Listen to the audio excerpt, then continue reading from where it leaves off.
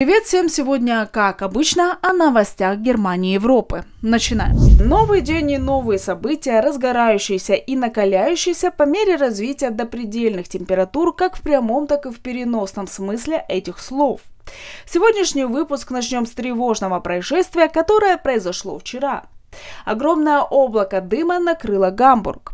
Пожар начался во второй половине дня во вторник и вызвал волнение на востоке Гамбурга.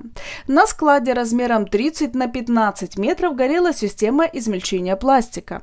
Более 100 пожарных пытались взять пожар под контроль. Жители были оповещены о мерах безопасности в связи с этой ситуацией. Из-за работ по тушению во второй половине дня были закрыты некоторые улицы.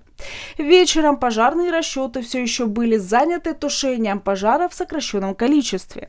Однако это не единственное ЧП такого плана, произошедшее на этой неделе. Взрыв и пожар случился в химическом парке в Германии. Взрыв и последующий пожар произошли на днях на территории предприятия, принадлежащего химическому гиганту ФРГ Линде, которое расположено в земле Саксония-Анхальт. Оператор химпарка справился с ЧП собственными силами. Пожарные не привлекались и пострадавших нет. Но вопросы по поводу данного взрыва и пожара еще остаются. Несмотря на то, что, по словам представителей предприятия, ситуация была несерьезная, тем не менее сработала немецкая система оповещения о ЧП. Но, слава богу, все миновало. И уже стало известно о ситуации, которую в Германии ожидали многие.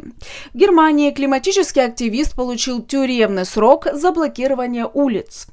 Немецкий климатический активист из группы «Последнее поколение» был приговорен к 22 месяцам заключения за участие в блокировании улиц. Эту информацию подтвердила пресс-секретарь районного суда Берлина. 65-летний мужчина был приговорен к тюремному заключению без права на досрочное освобождение.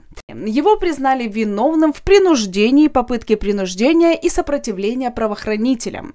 Судебное разбирательство касалось перекрытия дорог, в котором участвовал мужчина.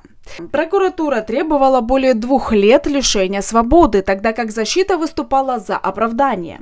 В пресс-релизе последнего поколения говорится, что 65-летний мужчина намерен обжаловать этот приговор. Ранее активисты последнего поколения заблокировали движение в нескольких аэропортах Германии. За этот поступок им еще придется ответить. Канцлер Германии Олаф Шольц осудил радикальные акции климатических активистов из группы «Последнее поколение», назвав их безумными. И уже стало известно о еще одной ножевой атаке в Германии. В Германии полицейские застрелили мужчину, который, вероятно, угрожал прохожим на одной из улиц, а затем попытался напасть на правоохранителей с двумя ножами. Инцидент произошел накануне днем в городе Мерс. Местная полиция отправила патруль для проверки информации о мужчине, который напал на нескольких человек и угрожал им. Когда полицейские обнаружили мужчину, он напал на них с двумя ножами. Полицейские не стали дожидаться атаки и выстрелили в 26-летнего мужчину, в результате чего он получил смертельное ранение. Напомню, это происшествие стало не первым в череде нападения с применением ножей. 23 августа три человека погибли и восемь получили ранения в результате ножевого нападения на городском фестивале в немецком городе Золинген. Полиция арестовала подозреваемого в совершении преступления 26-летнего мужчину из Сирии. Перед этим власти предложили ужесточить законы, регулирующие ношение холодного оружия в ответ на увеличение числа нападений с использованием ножей. Но, можно сказать, воплотить этот закон в жизнь не успели. И это нападение в Золингене все больше и больше обрастает шокирующими подробностями. И уже стало известно, что подозреваемый в убийстве прохожих в Золингене получал в Германии государственное пособие. Иса Аль-Хасан, которого подозревают в нападении на людей с ножом в Золингене, не был депортирован из Германии по ошибке властей. Иммиграционная служба пришла к нему 5 июня 2023 года, однако сирийца не оказалась дома, поэтому депортацию отменили. По одной из версий мигранта предупредили о визите служащих. В тот же день Исаль Хасан вернулся в свое жилье. При этом депортировать во второй раз его даже не попытались. И хотя сириец скрывался от властей, чтобы его не смогли депортировать, он исправно получал финансовую помощь от государства. Удивляет даже тот факт, что если его не смогли найти в день запланированной депортации, то это не привело к сокращению выплат. Согласно закону о пособиях для просителей убежища, сириец получал 368 евро в месяц.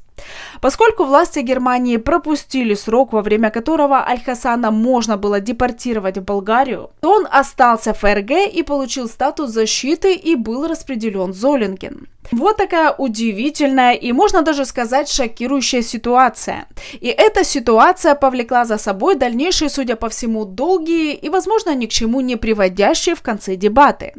Противостояние партии продолжается. Итак, Мерц предложил Шольцу вместе бороться с незаконной миграцией. Председатель оппозиционного ХДС Фридрих Мерц во вторник 27 августа встретился с канцлером Германии Олафом Шольцем и предложил главе правительства объединить усилия, чтобы ограничить нелегальную миграцию ФРГ. Канцлер Германии Олаф Шольц в свою очередь отверг возможность радикальных изменений политики в вопросе убежища, о которых заговорили в оппозиции после теракта, совершенного выходцем из Сирии. Шольц высказался против идеи заморозить прием просителей убежища, которую предложил лидер оппозиционного ХДС Фридрих Мерц. Канцлер в последующих комментариях сказал, что о тотальном отказе всем искателям убежища на границе Германии не может быть и речи. Однако важно уменьшить нелегальную миграцию. Шольц отметил, что пограничные проверки помогают этому и должны продолжаться. Также против всеобщего запрета на прием людей из Сирии и Афганистана, который предложил Фридрих Мерц, против выступили и генеральный секретарь СДПГ Кевин Кюнерт и министр юстиции Марка Бушман. Они отвергли это предложение, ссылаясь на Конституцию. Вот такая ситуация, а вот к чему в конечном итоге приведут эти дебаты, покажет только время. В это время в Германии считают, что РФ хочет спровоцировать новую волну украинских беженцев в ЕС. Такое заявление было сделано на фоне массированных атак на украинские энергетические объекты. Такое мнение высказал председатель комитета по иностранным делам Бундестага Михаэль Рот. Рот уверен, что эта серия атак является началом новой кампании разрушения украинской энергетической инфраструктуры. Политик отметил, что повреждения настолько массивные, что их почти невозможно быстро исправить. Он призвал поддержать Украину в условиях грядущей суровой зимы. В частности, предоставить аварийные электрогенераторы. Рот также обратился к США с призывом дать разрешение украинским войскам на использование дальнобойного оружия по российским аэродромам Крымом. Напомню, в немецком политикуме уже несколько месяцев говорят о сокращении помощи украинским беженцам. Ну а как будет развиваться ситуация в дальнейшем, будем следить.